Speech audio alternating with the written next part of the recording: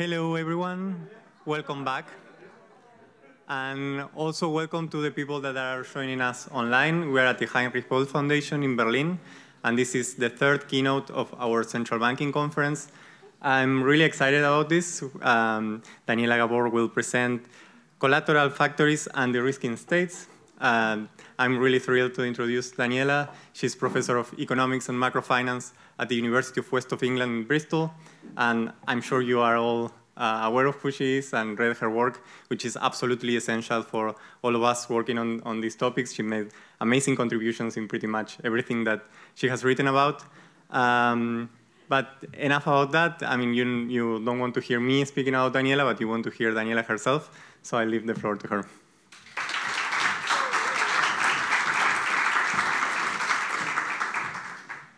Thank you. I'll try with the mask on, just to be consistent with my principles and to avoid uh, the fate of my last journey to Heinrich Böll Foundation, uh, which was a bit more exciting, I hope, than this time. So let me start by thanking Pavlos in particular for choosing a title for my presentation. It was called initially The State as a Collateral Factory. He made an excellent choice, given that I uh, didn't answer his emails on time, so he decided for me, thank you. It also intimated to some kind of class analysis in my uh, presentation from the fact that there is a factor in there. I'm afraid I will disappoint you, but maybe not entirely. I have changed it a little bit so I can introduce to you my, one of my latest uh, an interest, which is, uh -oh, down, yes down. I thought you all know what the collateral factories are, so maybe I should start in a more surprising way. Can I ask for a show of hands how many people have seen this? Oh, this is much better than I ex expected. okay, guys, this is not uh, uh, inviting your opinions on Stranger Things. Thank you, Clement. but it is to say that uh, I think Stranger Things is a very interesting show for a variety of reasons. And if I was to summarize it very quickly and very crudely, Stranger Things is about a small town in the United States um, called Hawthorne, where uh, all of a sudden the small town in, in the US finds itself confronted with a parallel supernatural world called the Upside Down, right? And you can see it, let me see. Apparently I can give you some light. This is the Upside Down world that looks a lot like the small town, except that it's lifeless and dark. And there are monsters lurking around. And we find out in the first season, which Clement is right, was much better than the last season. we find out in the first season that the main character of the series, and I will have no debate whether she's the main character or not, she is. Oh, the main character of the, of the, of the series, a girl with superpowers called 11, she's the one who can open gates between the upside down and the, the, the normal real world. Of course, she gets superpowers because she was kidnapped by the American military, who did experiments with her, uh, very much in the tradition of this kind of uh, uh, movies. So 11 is the one who opens up channels communications uh, of communication between upside down and the, and the real world. And the other character is called Will. Will doesn't have superpowers. He comes from a problematic family in some ways, or at least is depicted like that in the beginning. But he's very sensitive to what happens in the upside down. He, under, he knows when the upside down sort of starts to prepare to uh, invade or to try to take over the, small, the, the little town. There is also a cast of characters that is helping uh, Eleven and Will in trying to fight, of course, the monsters. There are the monsters, and as we go through the seasons, these monsters become increasingly complex, increasingly powerful, and increasingly, difficult to fight. And of course, the only one that has the superpowers to be able to fight back the, the, the, the, the Demogorgons, the Mind Flayer, and Vecna, see, I still remember their names, is 11 because she has uh, superpowers, right? And of course, there is, there are Russians in the story because it's an, a US series. And the Russians kind of sit around until the last season, and they just kind of benefit from the fight between the US military, the, small, the kids in the small town, and the monsters in uh, Upside Down. okay? And there are many reasons why this has become a pop cultural phenomenon, not only because it's on Netflix and we were all bored during the last several years of the pandemic, not only because if you were born like me in the late 1970s, this is a show that reminds you of your childhood because it has very nice music, it has the atmosphere of the 1980s, so it plays with our nostalgia. But also, I think it has been very interesting, and many people have read it, as an account of how capitalism changes social relationships. The capitalism that is happening in the upside down is changing and devouring all forms of capitalism in the normal, regular world. And I think this is an interesting metaphor. So what I'm going to try to do today is to tell you a story of the European crisis and a story of stranger European things. Let's say if I can do this, if I can find out which button to press. So, when we think about Europe, especially these days, Europe has many interesting things happening, like in the little town in the United States. But we know that things are going really wrong in Europe when we see spikes in the interest rates or the yields that um, European governments pay above Germany, right? So every time you have a spike here, there is a worry that something is happening. And usually these points of crisis are narrated as either finally the market is repricing the debt of the European states in the periphery that should be paying a lot more than they are. There are, the, another way of telling this story is, well, you know, too much fiscal expansion uh, or too little structural adjustment or structural transformation, too little appetite for reform. Or in the most sort of common narrative is there are speculative forces somewhere hanging out in European monetary uh, spaces, and these speculative forces drive up and down these yields, and what to do, we sometimes have to respond to them. And the story that I've been telling with my research over the last, I would say, seven to eight years, is that there is an upside down, and I'm sure most of you will recognize this. This is uh, Zoltan Pozsar's famous story of a uh, famous map of the shadow banking world that we saw in 2011. And since then, uh, I started stopped writing about Eastern Europe and started writing about uh, shadow banking because it's, it's quite fascinating. And for Europe, we can think about this upside down or shadow banking as the plumbing of the financial system in Europe the place where a lot of social relationships are changing, but in very complex ways that we do not keep very easily track of, particularly because we ignore this part of the upside down, which is the European repo market. And the European repo market is a, is a very large market. I'm showing you, you here. It's around 10 trillion euros outstanding in 2021. This is as large as the government, as the German and French government bond markets put together in outstanding terms. And this is the market that circulates European sovereign bonds and creates or amplifies moments of tension or uh, speculative, speculative positions. So if we think about this metaphor of stranger things, I thought who would be the characters, right? Because this is the interesting part. Who does the, who plays the role first of 11, and I came up, at least Pavlos should recognize this one. Uh, I came up with 11 in the, in the early first season. So remember, 11 is the one that is, does the conduit between the upside down and the real world. This is Alberto Giovannini.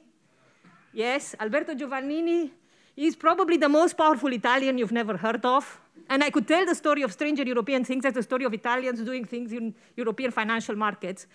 Uh, but it would be a bit boring because they're all men. So I'll try, I'll try not to do that. But Alberto Giovannini was the, one of, was the father or the architect of the creation of the European repo market for government bond markets in Europe, first in his role at the Italian Treasury, and then he's in his role in various uh, technocratic elite spaces in the euro area, including he drove forward the process of creating the, the European directive on collateral. The uh, Will in this story, and remember, Will is the guy without superpowers, but who's very sensitive to what's happening in the uh, underworld, is Mario Draghi, in his sad moment when he represents the Italian government bond market, right? The Italian government bond market is the place that we sense that something is wrong or moves uh, uh, in the European financial system that creates problems for the rest of, of Europe. And then those problems can be easily solved or solved in, in some ways by a new incarnation of 11, which is Mario Draghi smiling. When, he,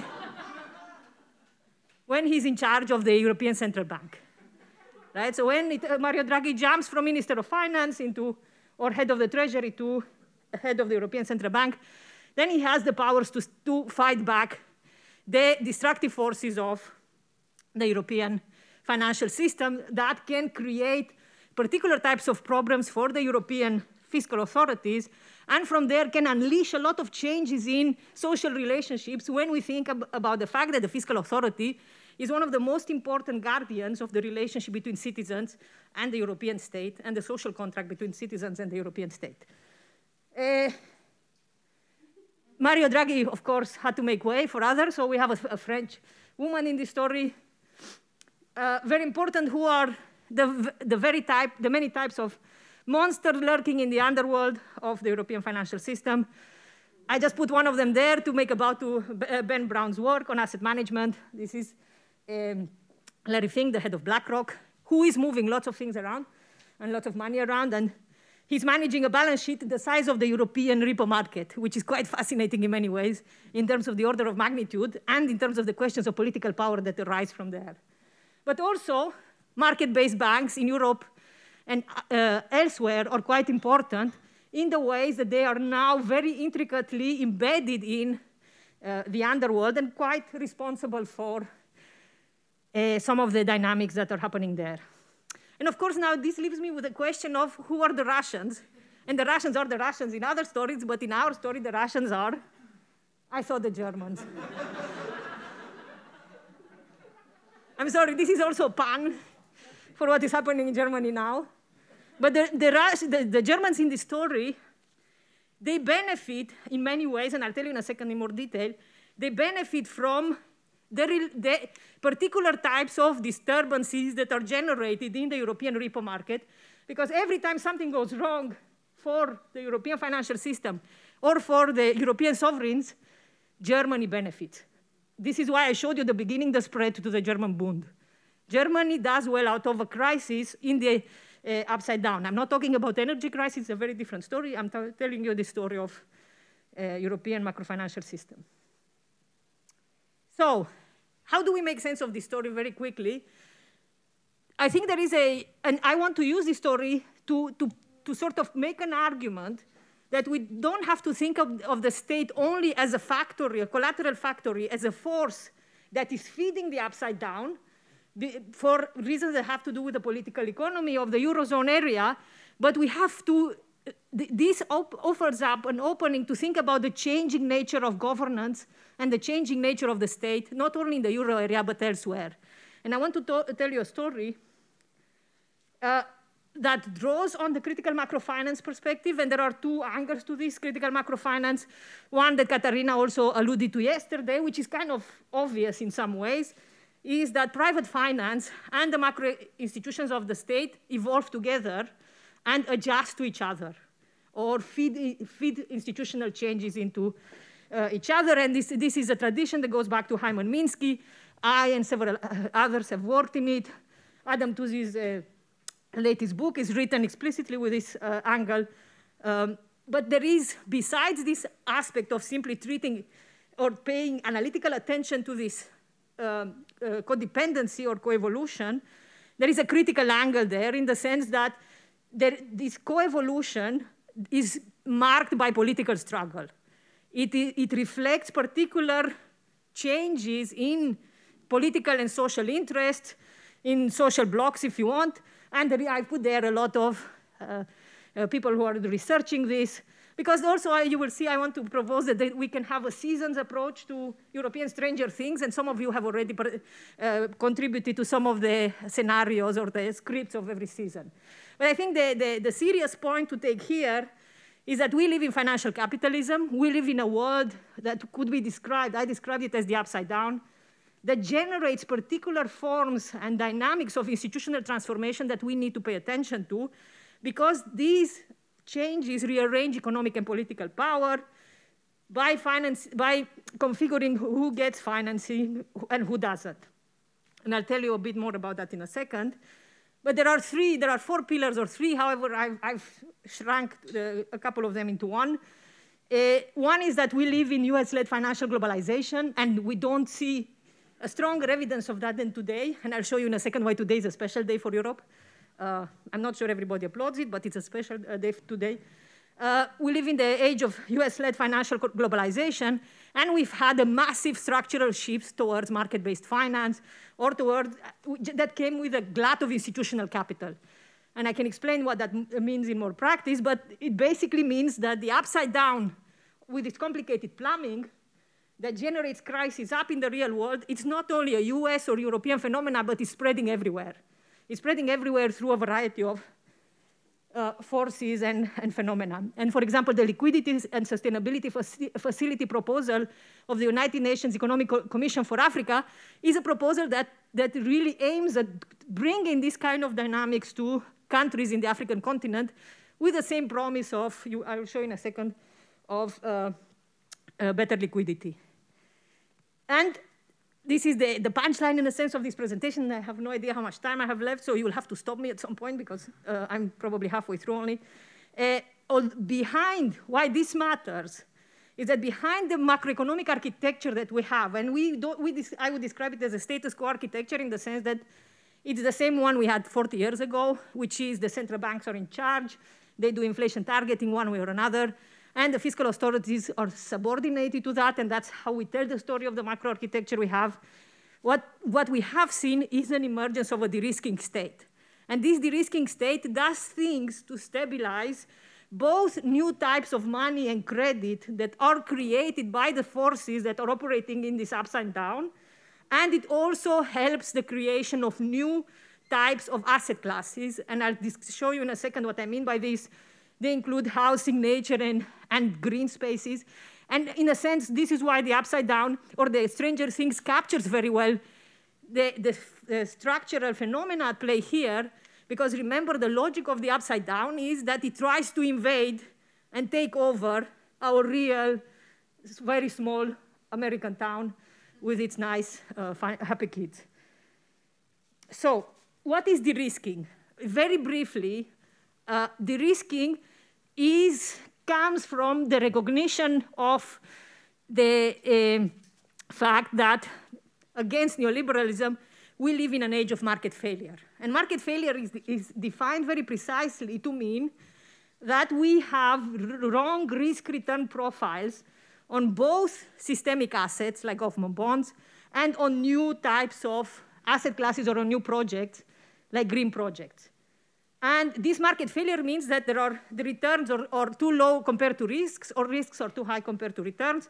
And that means they are not, they are not generating the kind of private investment or the kind of financial stability that is necessary for our financial system and our economy to, for example, decarbonize or to grow or, or whatever.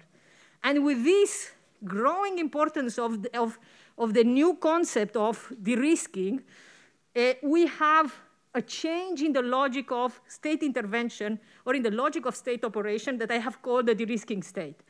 And that means the state is increasingly urged to develop institutional vehicles and mechanisms to change risk-return profiles in a, varieties of way, in a variety of ways. And you can think about it as a form of redistribution that takes, moves risk from private balance sheets onto the state so that it, it can achieve um, certain public uh, uh, goals or public ambitions without changing the existing macro-financial order. Nothing changes in the macro-financial status quo, just the state makes it easier for capital to go wherever it would like to go, but it doesn't want to do it on its own. So with this in mind, I want to propose you at least four seasons of the of the Euro, stranger European things. See, in season one, is the, like the, the world building season, right? That's where we find out what is happening and who, who does what. And that's a season where the state becomes a collateral factory. This is, uh, again, thank you, Pavlos, for, for the title. Uh, and the state becomes a, a uh, the state becomes a collateral factory under the changing logic of the relationship between the central bank and the financial authorities in the 1980s and 1990s, and it creates exorbitant, the exorbitant bond, bond privilege.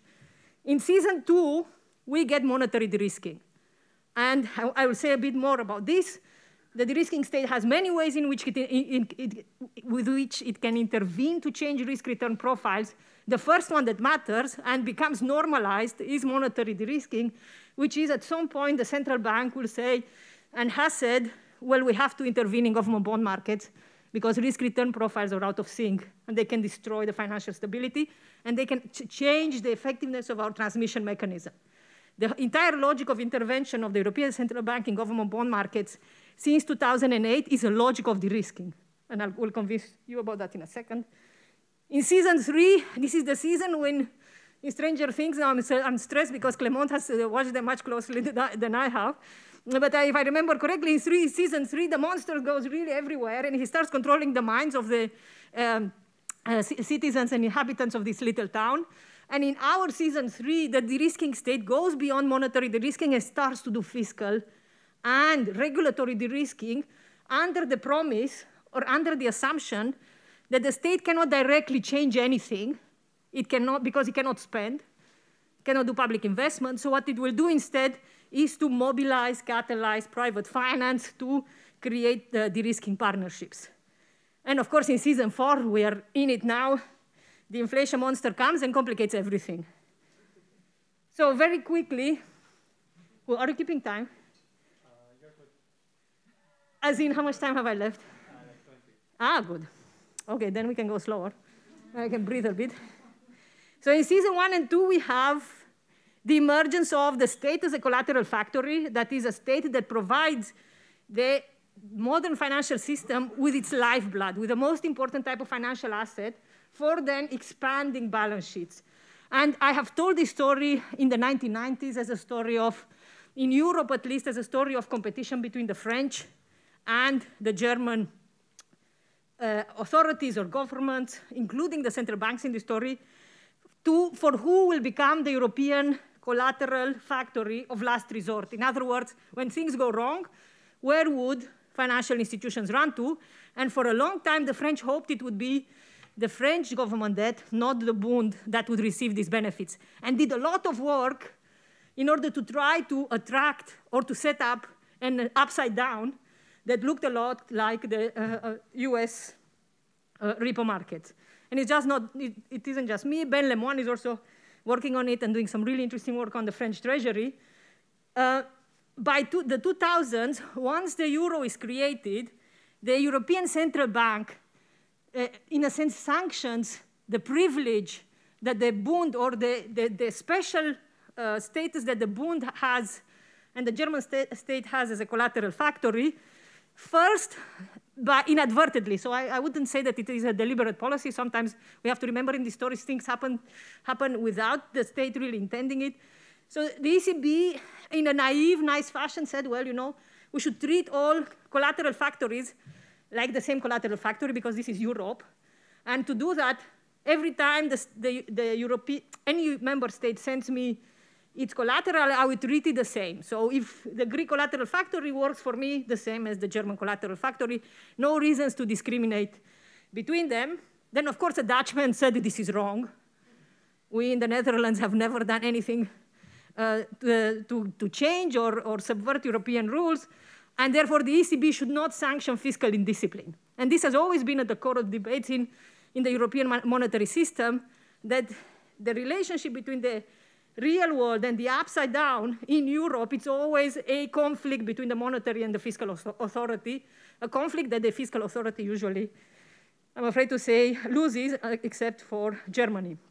And we know that the ECB, in a sense, did not notice that the uh, Bund was becoming the safe asset of last resort for Europe or the safe asset for the European financial system, uh, when in 2005 it, it, decided against intervening to try to push back against speculators that were, were engaging in breakup trades. In other words, what has happened since 2008 European government bond markets is not, is not new it had happened before. The ECB was warned in the Financial Times before that it had to intervene directly. It had to buy Greek government bonds, sell German bonds, in order to make sure that clever people working in finance were not taking advantage of the institutional pathologies and dysfunctionalities of the European monetary space. And the ECB decided to do nothing, uh, or not, not something very significant, because it was afraid precisely of the charge that it was monetizing government debt. It was monetizing deficits, and of course, uh, this is not part of the, is not allowed in the European treaties. And then I think the most important part in the story of monetary de-risking comes after 2008, when what we had in Europe is a move or a crisis that starts in the, in the US, moving into the European repo market for a variety of reasons that had to do with positions of European and other uh, shadow banks. And the ECB, under Trichet, refused to do anything significant about it. Until, of course, our, the Will of our story, or the Italian government bond market, came under so much pressure that the ECB had to recognize that the lender of last resort for Europe, for the euro area, is not functional as a backstop. This is quite fundamental, and I think if you read very carefully between the lines of some of the work that the ECB has done, they will accept that it's procyclical because it uses, and I've, I do not want to bore you with the details, but it uses the same mechanisms for pricing collateral that create destabilizing liquidity spirals. And finally, against Bundesbank opposition to the market maker of last resort, in September 2012, Draghi goes and says, I will save. He, he takes on the 11 hat and he says, I will fight back against the upside down. And he didn't have to do anything. This is, the, this is how there is a, almost like a supernatural power, right? You just go and say, I will do whatever it takes, and then the, the disaster stops. And then he doesn't have to uh, do literally anything. But you will see, because this is a story of the upside down and the monsters becoming increasingly powerful, whatever it takes is not enough anymore. So we have now variations of of whatever it takes. And these are called closing the spread. And the latest uh, iteration is a transmission mechanism protection, which again is a framing of de-risking. It says, I don't intervene to help any government.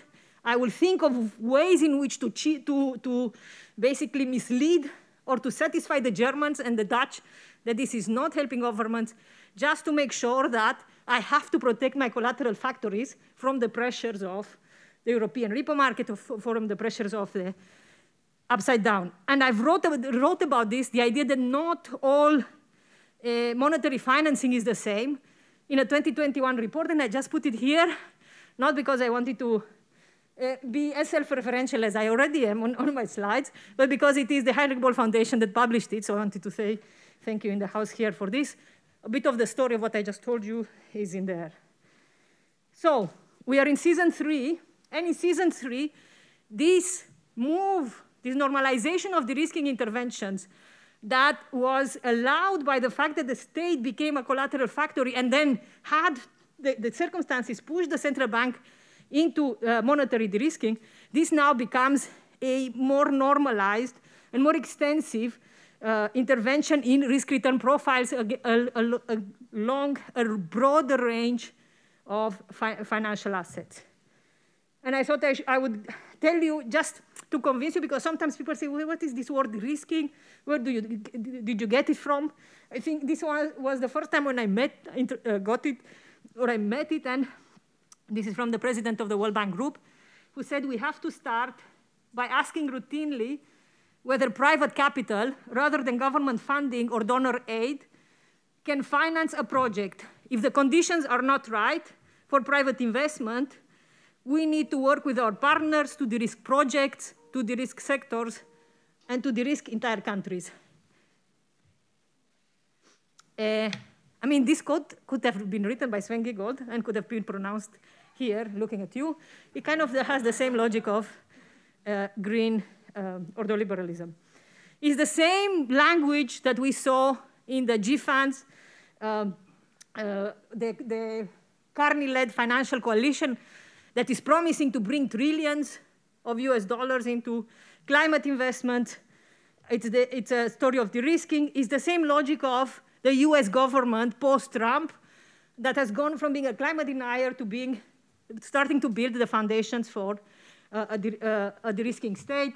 And this is John Kerry saying, in order to get investment in uh, the climate transition or in decarbonization, you have to blend the finance, that is put pri private and public finance together, de-risk the investment, and create the capacity to have bankable deals.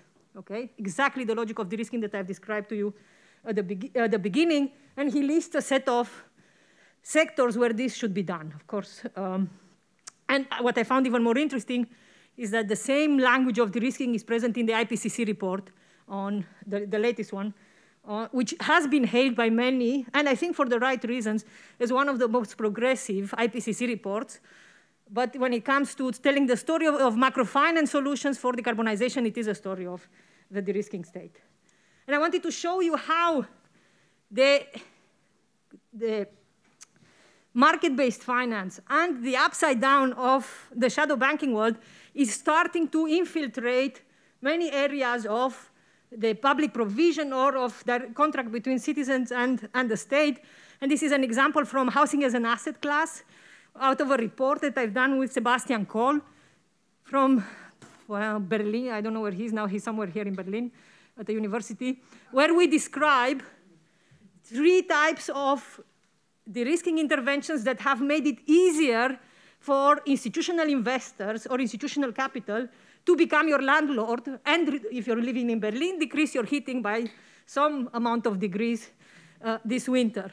And this includes regu regulatory de-risking, that is guided by the logic not to regulate the sector better for public outcomes. It is guided by the logic of what regulatory changes do I need to put in place in order to make sure that Blackstone buys some more flats in Berlin. This is the, the basic logic of it. And I've listed here, and I don't want to bore you, but we can discuss it in the, in the question and answer time, the EU, social taxonomy, the Solvency II regime for pension funds, the Alternative Investment Fund uh, Directive for private equity companies, the process of STS securitization in the Capital Markets Union, all these are a, a complex of de-risking measures who, with a specific intention of making it easier to transform houses into asset classes.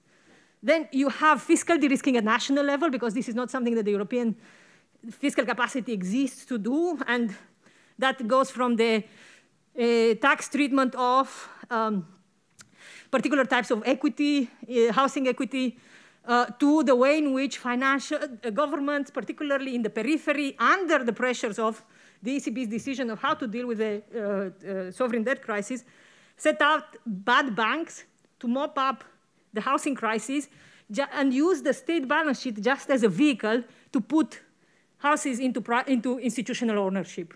And that's a, the, the case of the Sareb uh, bank in Spain, the bad bank, is a very powerful example of that, I think. we also have monetary de-risking there in the ECB's collateral treatment of mortgage-backed securities. Um, that is an example of, again, monetary de-risking.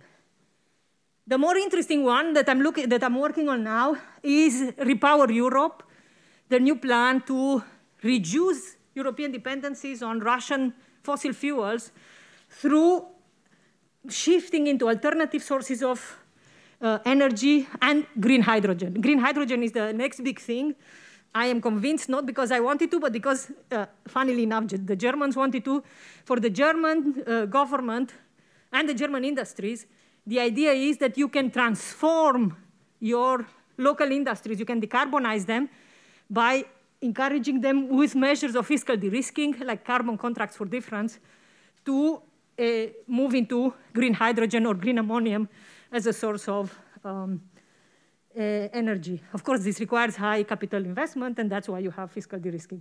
And I've just given you here, there an example of the way in which this is already changing political economies in various African countries that I have started since May this year in African Green Hydrogen Alliance. And Germany is developing green partnership, uh, green hydrogen partnerships with several countries. In, uh, very importantly, uh, to study, I think, is uh, Namibia.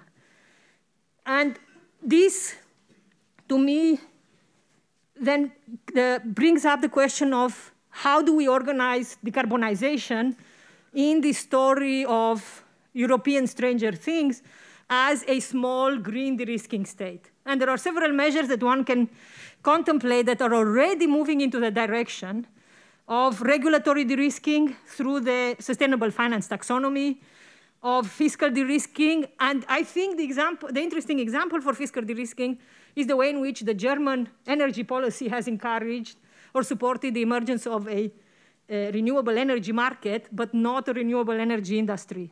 Uh, and this is a long story to tell here, but if you read the piece that I've published in uh, the German Jacobin, and this gentleman in the back uh, thinks that it's a very good translation of, of my, of my uh, English, if you can read the story there, it is a story of Germany pioneering fiscal de-risking measures in order to mobilize private capital and to create a, a renewable energy market. The same logic of fiscal de-risking is in carbon contracts for difference that we can discuss uh, in the question and answer session that are at the core of Repower Europe. There is very little new money in Repower Europe, and that the, the new money that is there is going to be used for basically providing incentives or mobilizing private capital into green hydrogen um, uh, projects to decarbonize industries that cannot be decarbonized with renewable energy. Uh, the LNG contracts, there is a lot of debate in Germany about them. The logic there is, again, the state has provided some de-risking measures, and the hope is that the, the LNG terminals will be uh, transformed into green hydrogen terminals to receive the billions in um, uh, uh, your, uh, imports of green hydrogen that uh, Germany is planning for.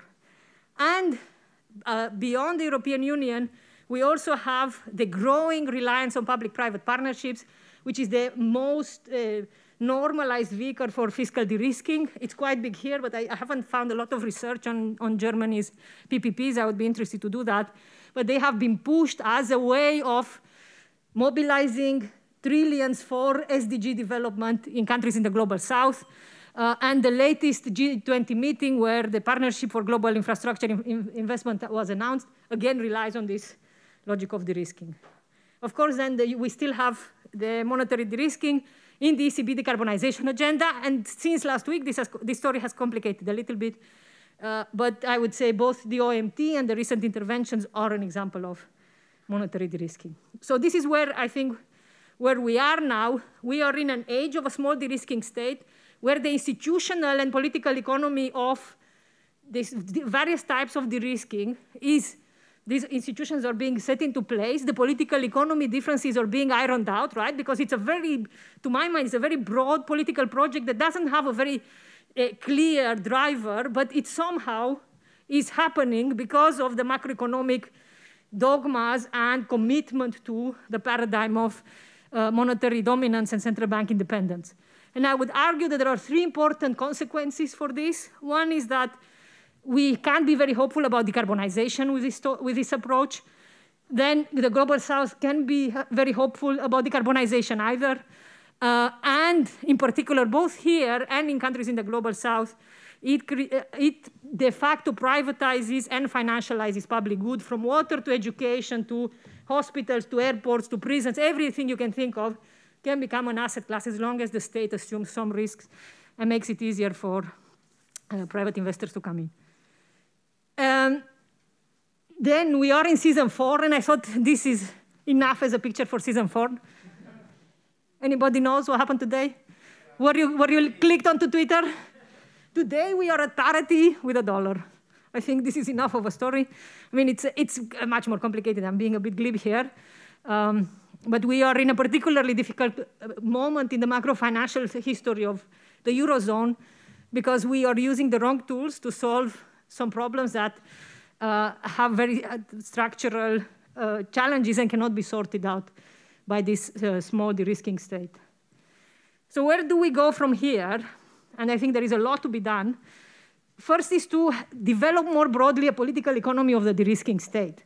What I have mapped out for you here, besides with my European Stranger Things or Stranger European Things uh, story, is the way in which the building blocks for uh, de-risking governance regime or, or, or logic have been put into place, not in a very orderly fashion. There is no big mastermind, despite the fact that I, I, somehow intimated it at the beginning with these monsters uh, that, that lurk around in the upside down.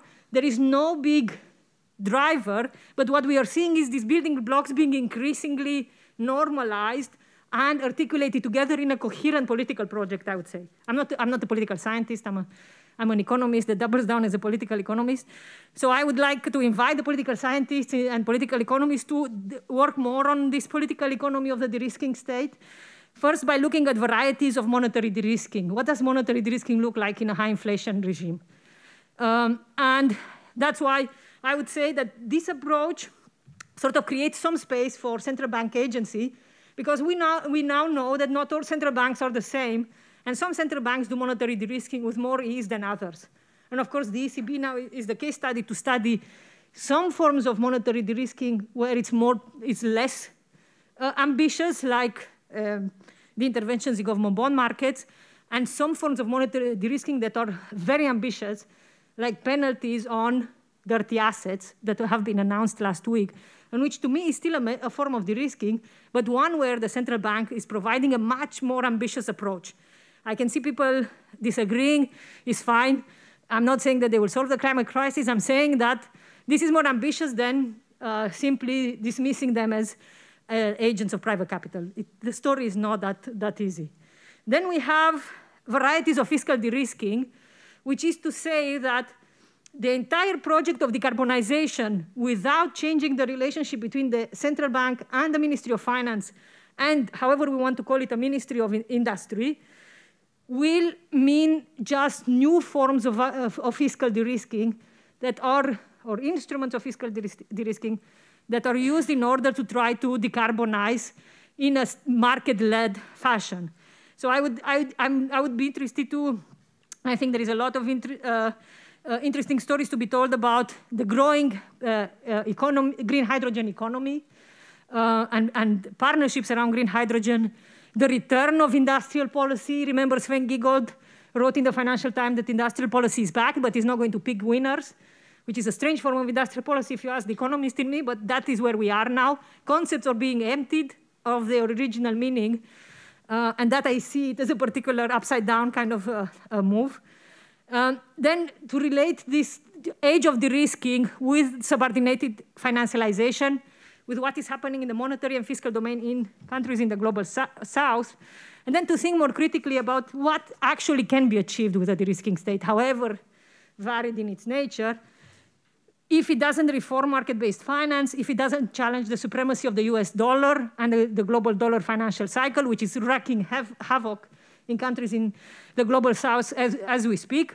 In Europe, well, depending on where you stand, whether you think uh, parity is good or not, in Europe, uh, uh um, the global dollar financial cycle is also um, showing up its, I think, relevance. And then under fossil inflation, the idea that somehow decarbonization will create inflationary pressures raises very difficult political economy questions. And when Isabel Schnabel said this, we, I took it very seriously because it creates trade-offs for the central bank. The central bank does not have tools to sort out, at least to my mind, in a satisfactory manner, and that they, they end up generating very stop-and-go deflationary, then inflationary or stagflationary periods. The second one, and I don't have time to go into it, you can ask Ben about it because we are, we are writing, is to imagine alternatives, right? Because, uh, you know, as these kids in um, Stranger Things, we don't want to be trapped in a constant battle against the increasingly sophisticated monsters that incidentally, this is a story of the internet arriving and changing uh, very nice childhoods where you were riding your bike, not staring at your mobile phone. Um, we want to map out what are the alternatives. And there can be worse than the small de-risking state. And we describe this with Isabella Weber as carbon shock therapy.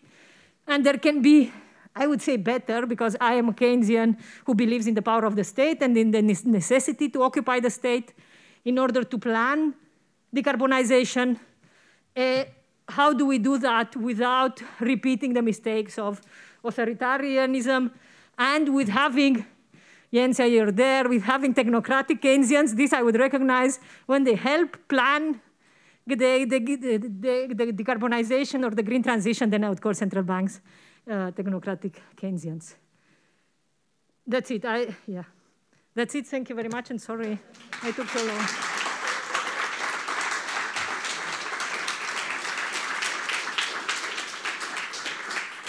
Great, thank you so much, Daniela. And now we have time for Q&A. So, um, yep, I see already many hands up.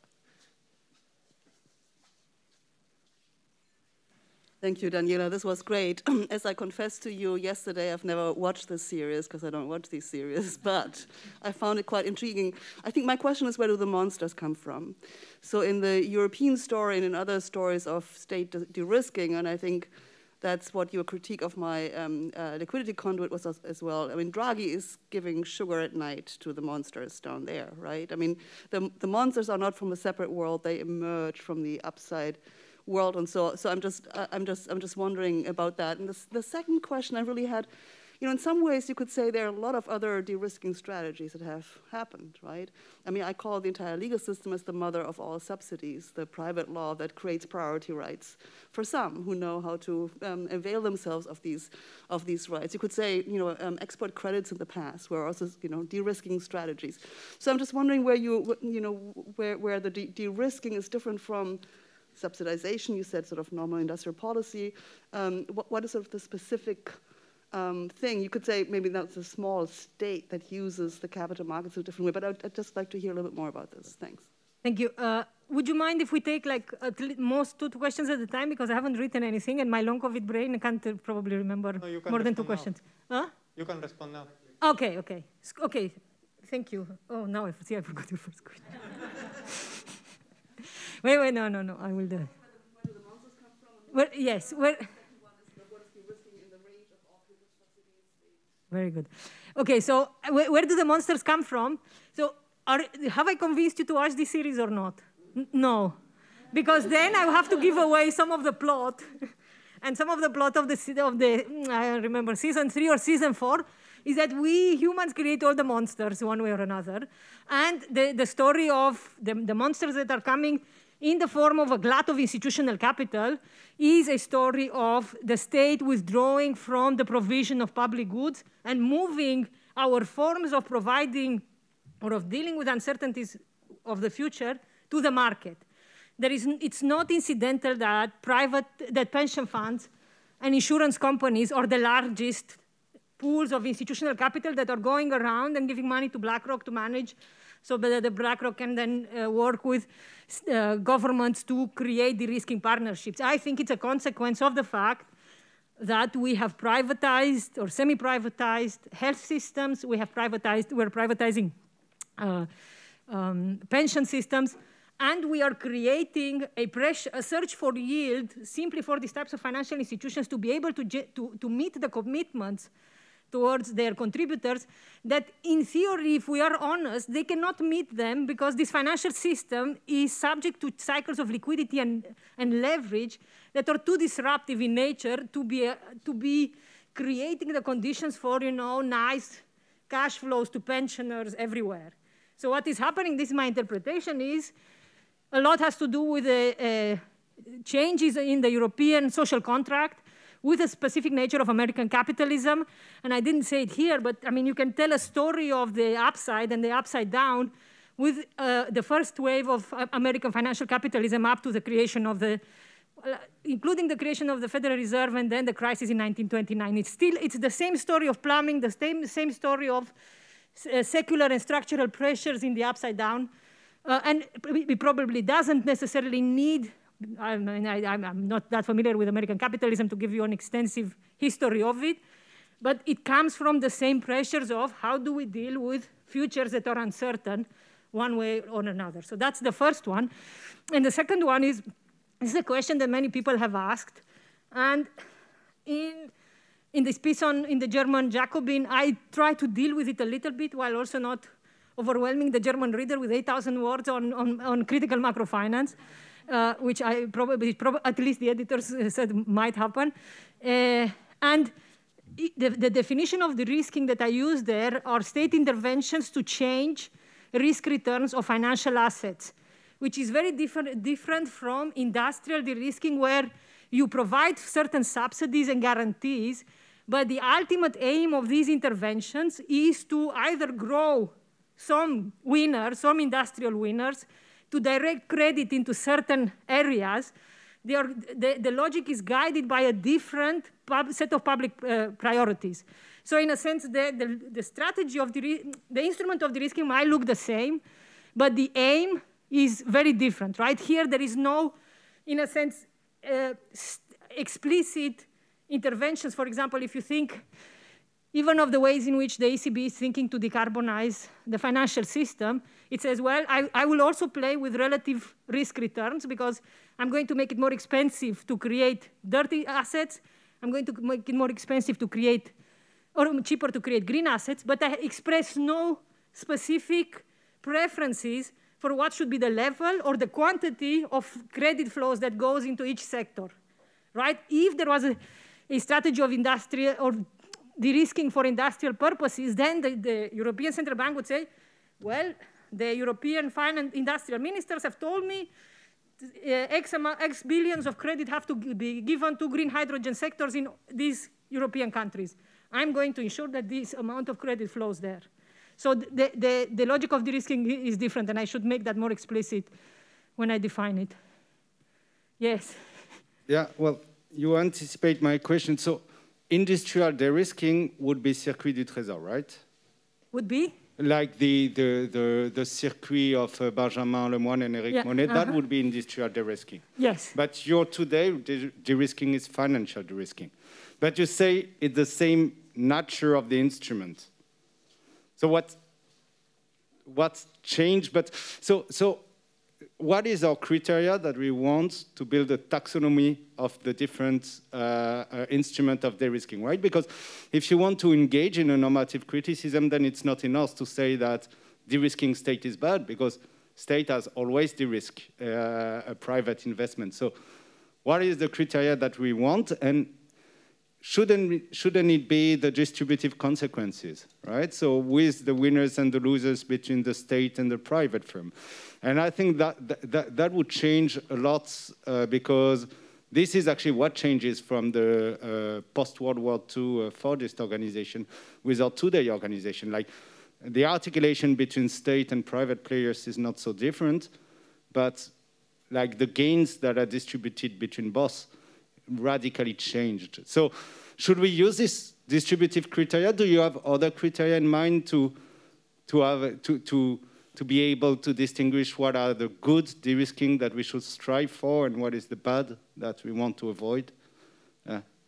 Yes, this is a very good question, and I've been, I've been, I would say, struggling with this in the sense of mean, I don't want to call it financial de-risking because uh, Katharina is right. There is, there is legal de-risking, and it can be done in allowing private uh, legal actors to write the rules, which make it easier for financial institutions to create new types of asset classes. There is regulatory de-risking. There is fiscal. There is monetary. There are many ways in which you can you can arrange de-risking. So the the, the de-risking co constellations can be look differently depending on what is the kind of overriding logic that, that organizes them or the macro-financial regime that organizes them. And maybe I should be more careful that you're right. I think the distributive question is very important because the logic of de-risking asset classes for private finance or, or escorting ca private capital into new in private investable projects or even state, well, somehow at some removed but still state-owned projects, is uh, how do I make it easier for private capital to go there but I, not, with, not with the attached question of how does private capital both have some discipline in receiving these subsidies and how does it share the benefits of de-risking in ways that also benefit me? So do, I don't just socialize their losses and they keep their gains. So you're right, maybe the, the,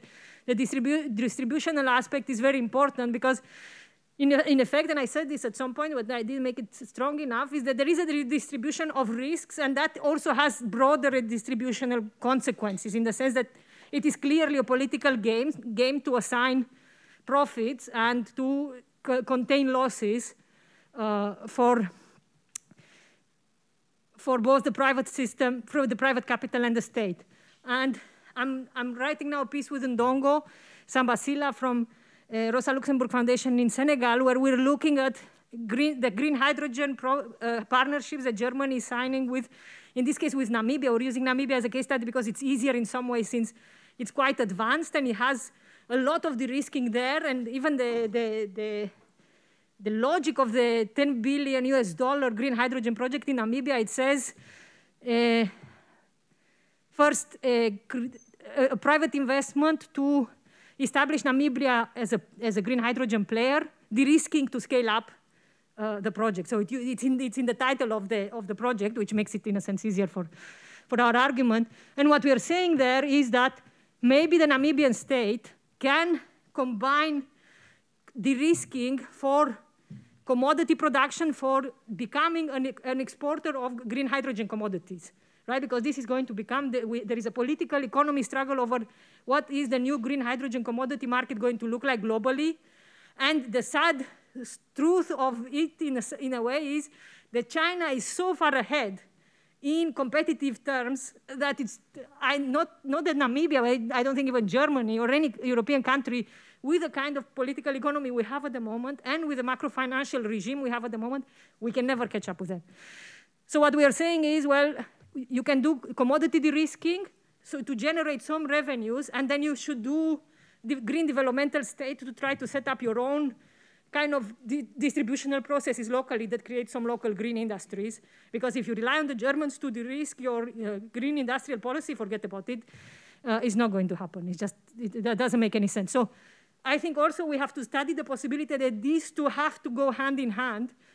You know, moving away from the comfortable leftist position of throwing bombs at the people who do things and uh, criticizing them, trying to be I don't know if constructive is the word because I'm still a perma-cynical uh, cynical person, but, but trying to think through like, is there some way in which these two can be combined in a way that benefits also the state and the citizens, but in a meaningful, structural way, not just, and transformative way, not just, you know, the story in Namibia now is, well, the Namibian state will benefit because we are going to give them an equity stake in this project that is financed by a German, is, is done by a German company with a private equity co uh, company. So these are just a constellation of what I call the Wall Street consensus, and they would, they're expecting Namibia to issue 500 million uh, green bonds to buy their equity stake, which would basically double their foreign, their foreign or their Eurobond debt. It's mental. I mean, the project to me is very strange. Uh, and I, don't, I mean, also, I'm, i know I'm a European sitting here and being wise about what people in uh, countries with a much more difficult political economy are doing.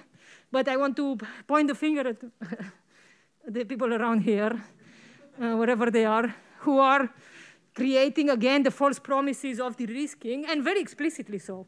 Um, so yes, I will thank you. That's a good suggestion. Uh, great, thank you, Daniela. That was that talk was about as good as it gets, I think. My question is about this figure behind you and the typology, although I think it probably might help us to also think about, you know, types of de-risking that amplify shocks rather than allow it to be um, now to be absorbed. So it seems, if we look at this, that the difference between big green state and small green de-risking state is quite big. It seems like the gap between small green de-risking state and carbon shock therapy is not so great. How close are we to going into carbon shock therapy? What are the kind of things that are preventing that from happening, or are they already happening?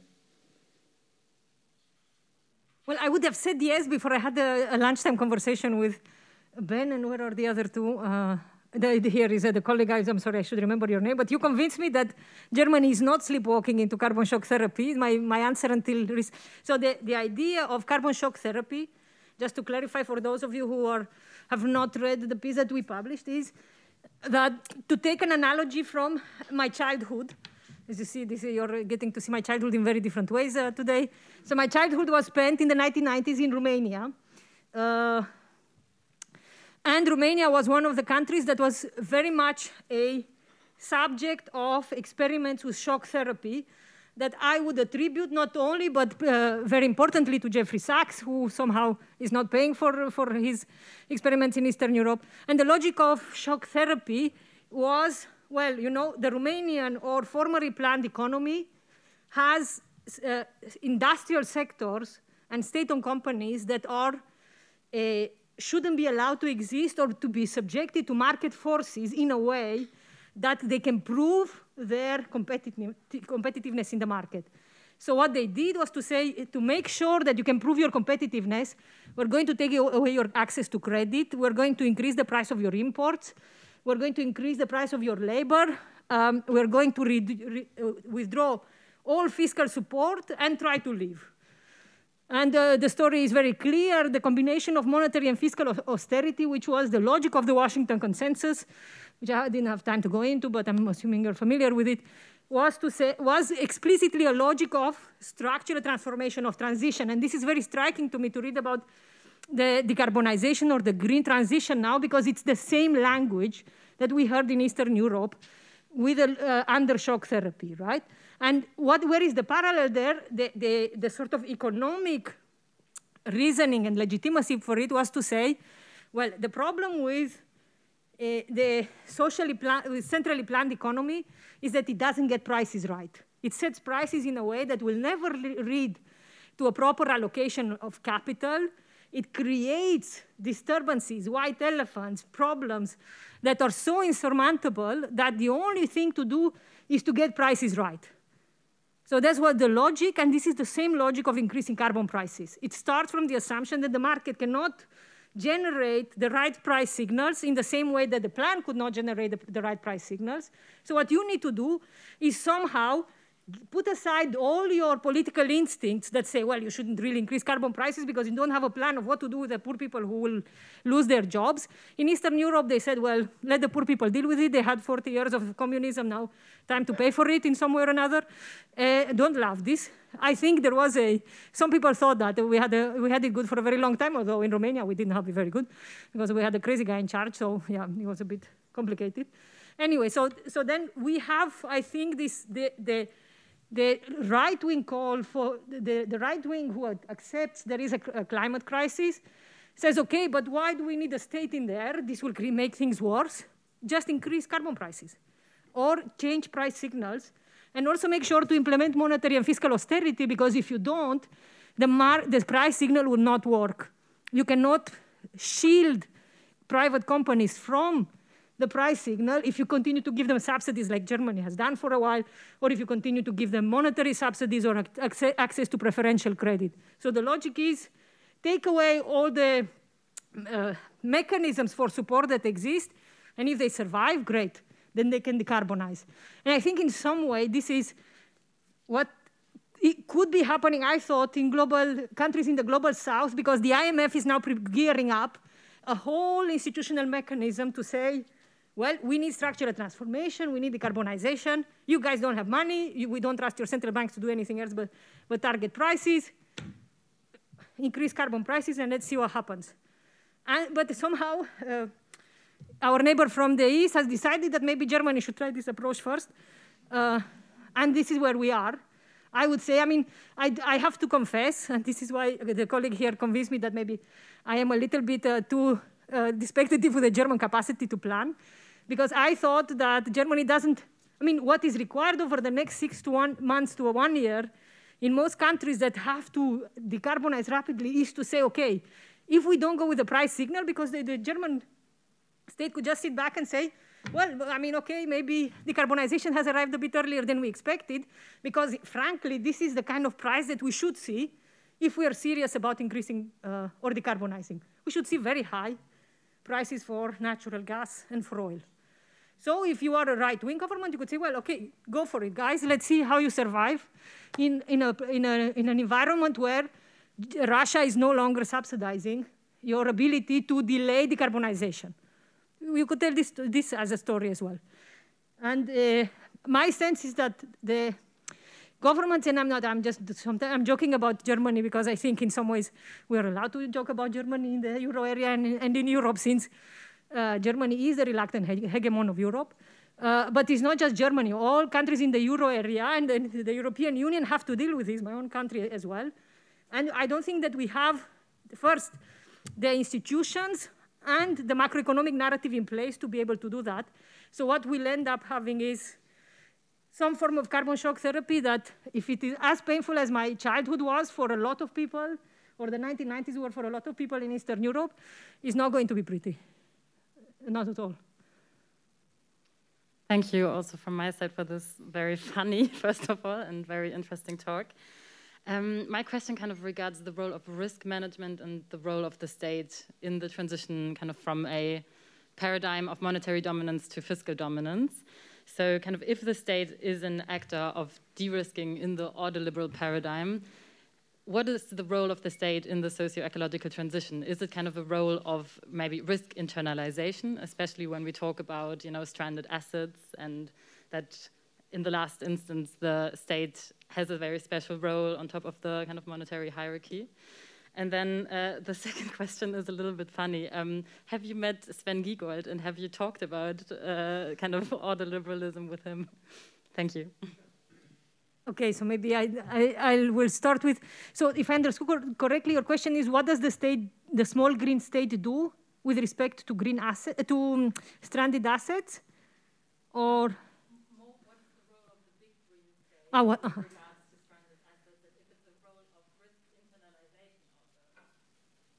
So, um, I mean, the, the big green state is, is, is to me a configuration that tries to close down all the potential mechanisms and avenues through which it is possible for private finance to escape the conditions or the attempts of the small green state to, to try to decarbonize, right? So uh, stranded assets or, or fossil assets are, in a sense, quite interesting in that respect because what we have seen, even where we have some credible efforts from central banks or regulatory authorities to say, okay, you have to get rid of some pension funds have to get rid of some of uh, um, dirty assets or I don't know Shell or or Total uh, bonds. What what it happens is that private equity funds are are buying them and then managing them, often with the same uh, allocations from the uh, public pension fund that used to own that, that asset in the first place. So it's a, lit a little bit like a dog chasing its tail. And of course, the difficult question then is the reality, as I understand it, is that what we need to do now is not to invent new technologies or new things, is we need to stop digging fossil fuels from the ground. And that means that some, I think only some centralized state authority can say, we'll have to stop these things and we'll have to create, and I think if, uh, I think this was online when Heinrich Böll, or, or this is online when Heinrich Böll Foundation organized this conference, in May, some of you might have been here, there was a, a very interesting, and I have to say as a, as a union member, there was a, I, I was very happy because some of my union reps in the UK are not as effective uh, fighting uh, on, against uh, our government uh, in the same way that this lady was. And she said, look, I'm in charge of just transition plans for a union or for European Confederation of Trade Unions. And the problem is unions are always portrayed as resisting decarbonization because uh, they have vested interests or they have jobs in fossil fuel sectors. And you think, okay, fair enough, but if these people are told you'll, you'll not longer have your nice job in an oil company, but you have to have a precarious job trying to learn how to install solar panels somewhere, of course they resist it. I mean, it just makes sense. I would in the same way I'm resisting attempts to make my job pre precarious. So the question of stranded assets is indeed the state has to take it over, but, but work with trade unions in the same way, in the way that this uh, uh, trade union is proposed, which is to say trade unions want to deal with climate change, but they want to see good jobs attached to the just transition. Not big spe uh, speeches, because big speeches, everybody now wants a just transition, which is crazy. When I hear BlackRock speaking about just transitions, uh, I, my, my eyes cannot stop rolling. I have to close them uh, for just a second. Uh, there is no, just transition means meaningful jobs for the people who are getting hit, not for uh, the receivers of financial yield from uh, stranded assets. So you're right, it's a very difficult question, and I, I understand, I don't know if anybody here has experience. Eric Monnet told me that there is a lot of interesting research done on the 1970s and 1980s on how, you, how the French government closed down industries that thought were no longer profitable or competitive, I'm, I do not know that the French state is a good example of this, I cannot say, but I think it would be interesting to look at experiences with the state easing bankruptcies of certain sectors or companies in a way that kind of makes sense, but both socially and, and politically. It's very difficult. There are no easy answers. This is why we have this proliferation of the de-risking state, because it's the easy political solution always. To say, well, we can't do much, but the private sector will do it if we just dish out a little bit of some form of subsidy or guarantee. Ah, and the second, how did I? Well, I know Sven Giegold from my, our time at, on the same side of the barricade, trying to change the European financial system. I think, I would say that Sven Giegold is an interesting uh, example of somebody who's trying to create some momentum for uh, decarbonization through the strategic mobilization of ordoliberalism. Now, this opens up many kinds of wars because apparently every German has a different opinion on who is ordoliberal and who deserves to be called one. And I, I, for me, this is not so important uh, since I don't particularly have any stakes in it. But he does use the, the overall logic of, or the overall umbrella of green ordoliberalism to say, we have to do a lot more things than ordoliberalism, ordoliberalism probably would agree with, at least the ordoliberals of the 1940s and 1950s. But this is the only way forward. I mean, in a sense, they were unlucky, I would say, the German Greens, because uh, to have to come into government and then have uh, Russia invading Ukraine is a very difficult thing anyways, uh, much more difficult when you're green, and then you have to end up having to choose between coal and nuclear.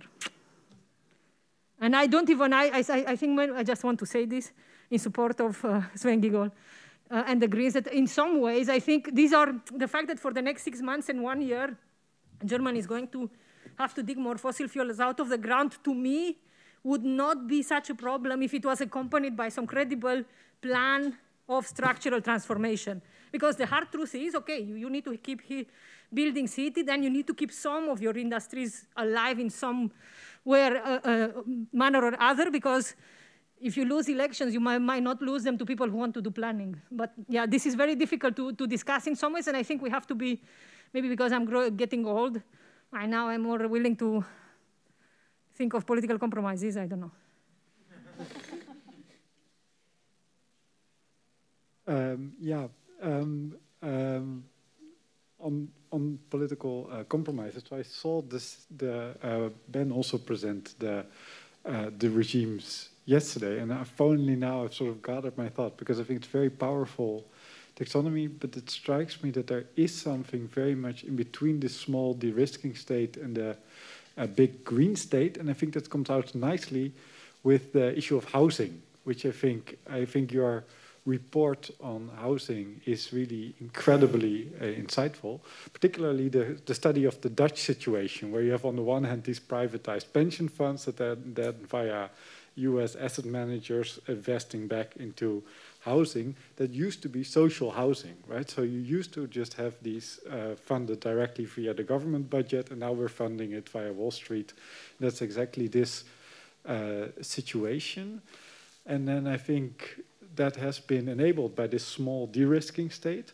But now I guess there is something emerging in between these two options that is definitely not the big green state, but that is in various ways creating risks for investments that are not sufficiently uh, uh, energy efficient and that in that sense are really also not, not the de-risking state. So you have the um, ECB measures that you already mentioned, screening the, the assets themselves much more as collateral, also pushing the credit rating agencies now to take all these uh, uh, energy efficiency criteria into account in designing credit ratings. That might then also impact credit ratings even outside Europe. Then also uh, Repower uh, EU, you already mentioned, really starting to impose mandatory deadlines for energy efficiency measures on social housing, on private rent, and then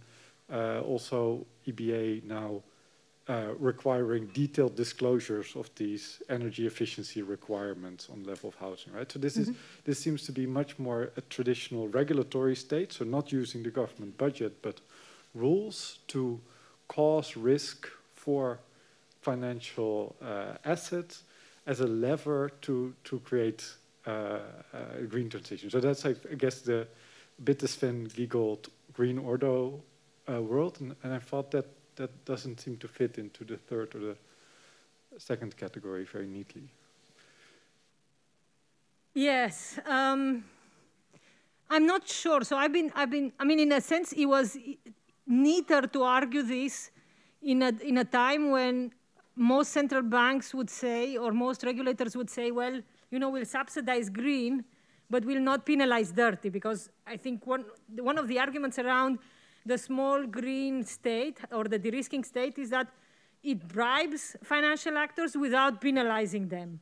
But I think that, that maybe was a bit too narrow a definition in the sense that, the, of course, the logic of de-risking is not to say that you only reduce the risks for a type of assets that, you, that somehow are consistent with your public policy priorities, but you also increase the risks for other assets that are inconsistent with your public policy priorities.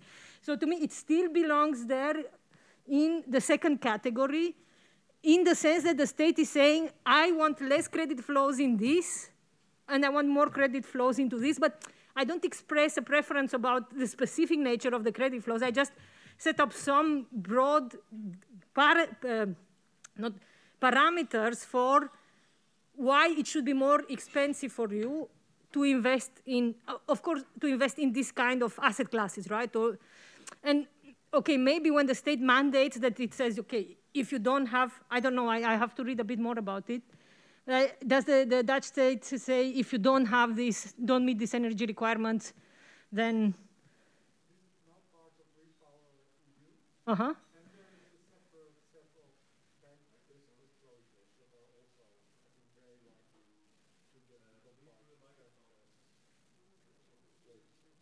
So this is part of Repower EU, and then, or that broader drive. Um, don't get me on the specifics. And then on the um, bank disclosure side, also these very detailed templates that require disclosure of energy energy efficiency certificates uh -huh. also immediately mean that that can feed into every part of the supervisory process. So I guess that that is causing very real uh, risk, but I, I, think your response also holds that that is a way. Yeah, I mean, I would say it is the extreme of the uh, uh, regu regulatory de-risking, in the, where the state basically says, well, this kind of risk cannot exist, right? Which is what the, the Dutch state seems to be saying is the, that you cannot have uh, asset classes with some particular characteristics anymore because they are not consistent with your uh, with the public policy priorities.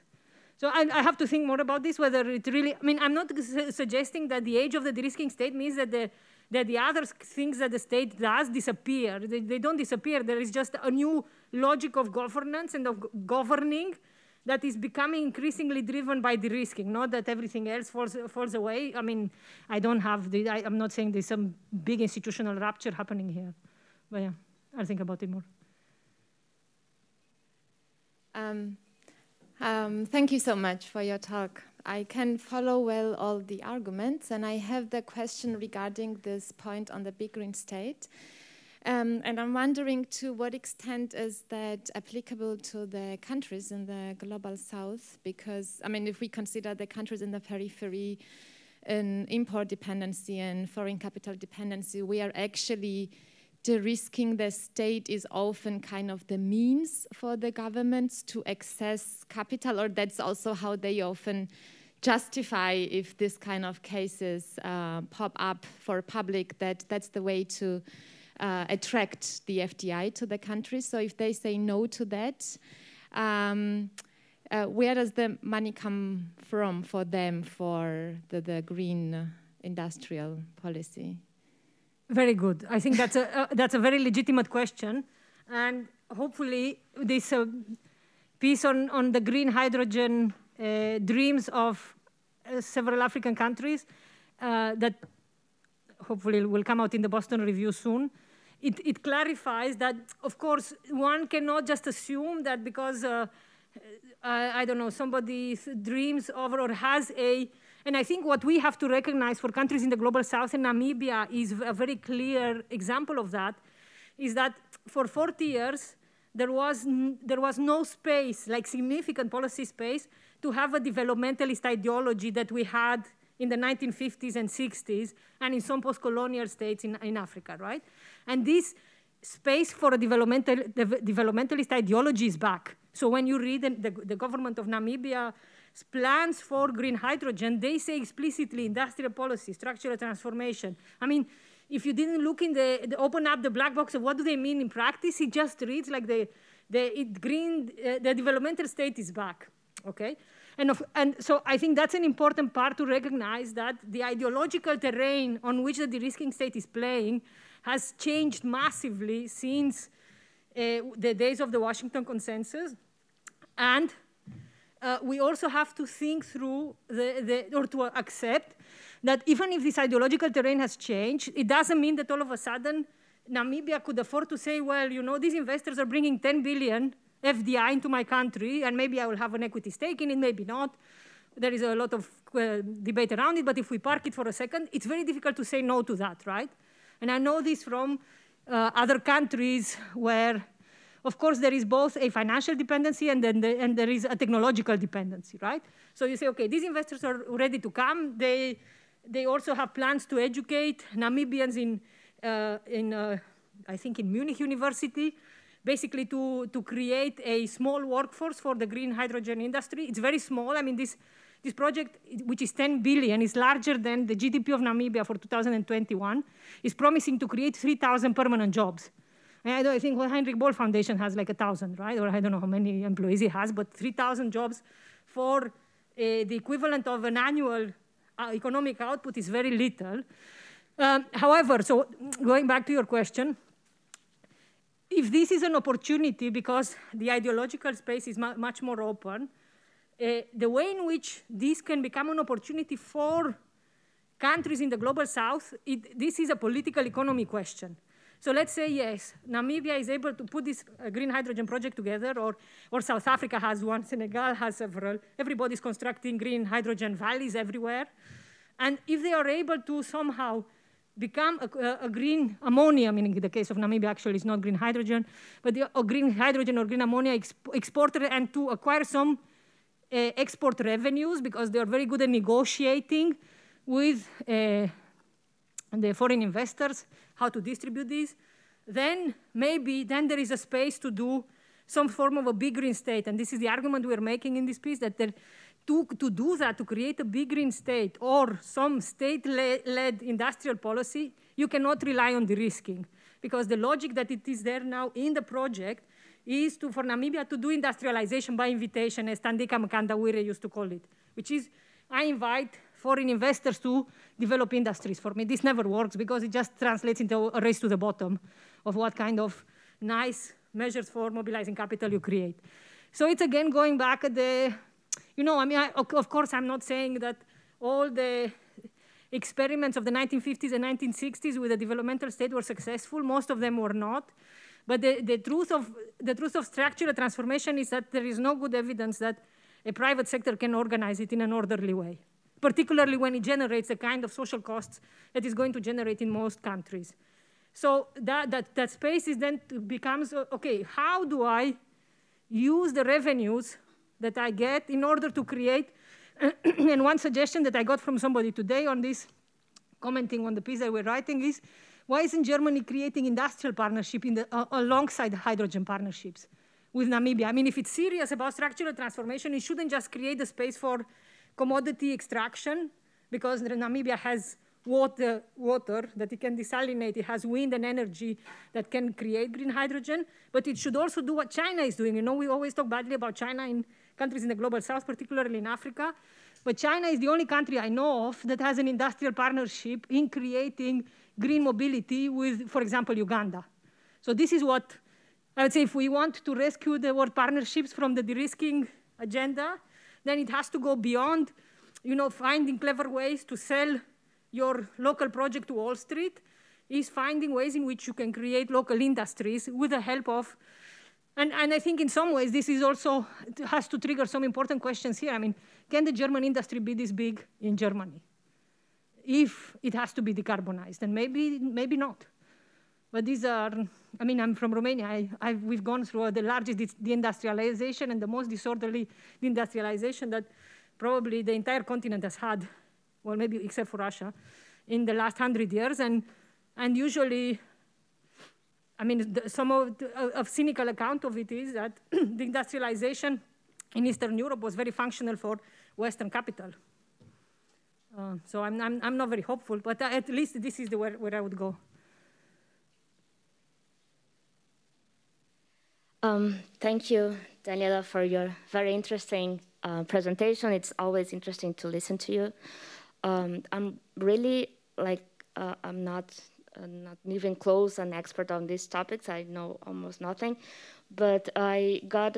I mean, some part of my question was addressed here when you were discussing Namibia and the African countries and recent uh, about this of the global south because I didn't quite uh, understand that in your presentation. It got kind of confusing for me when you said that uh, you were expecting that developing countries or the global south had a risk of becoming a consumer and not a producer of green energy. And that is, was kind of a bit confusing for me because I worked with green energy project in the south, as specifically in Brazil. And of course, we have uh, different legislation on how the energy market works but we had like a kind of a this really de-risked state there because you had a state promoting, like saying, I'm going to buy all the energy that you produce. And you had a developing bank that is not going to finance the project, but creating bridge loans. So you gave like de-risk the, the risk for the banking sector. So I had in mind, eh, in my mind at least, that the risk was actually to get everything privatized because of course that, uh, that strategy is more profitable for the capital sector. And the risk was also to increase balance of payment constraint because you will increase your import content instead. And of course, you have distributional consequence of the projects that you make, like displacing people to create wind farms and biomass projects that were in place in the early 2000s. So that was kind of confusing for me when you, you put it, like that, but I think it, I was kind of wrong. Yeah, sorry. No, no, I, I apologize. It, I, I think I should have been more clear. So I'm not saying that countries do not, that countries in the global south or everywhere cannot generate their own renewable energy. They become uh, consumers of green technology, right? So in order to put, I don't know, the wind turbines or the hydrogen uh, pipelines or the desalination plant or the plant that takes the hydrogen and transforms it into a green ammonia or the electrolyzers. All this is green tech or clean tech that needs to be imported and of course generates balance of payments dynamics. But the, the idea would be, and if you look, for example, at uh, Kenya or South Africa, there were some attempts to try to create their own industries, to create their own solar panels or their own wind turbines. And of course, then the question is, is, the, is, is it China or is uh, I don't know, Germany or Europe, the, the real competitor for these countries. But again, uh, I think the ambition would be that there will be some autonomous capacity to create green technologies uh, and to manufacture green, manufacture green technologies locally so you don't accelerate your balance of payment your, or your trade deficits and your current account imbalances. So that's what I meant. I'm not saying that countries do not have, and I, I guess one of the advantages of trying to, one of the reasons why, for example, Germany is pushing these green hydrogen partnerships is basically that it, there are countries who have abundant resources of wind and energy, and Germany can produce or deliver the green tech to be able to, for these uh, uh, resources to be basically mm, transformed into a commodity that can be consumed locally or exported. So yes, I'm sorry, I should have been clearer. Thank you so much, Daniela. This has been truly amazing.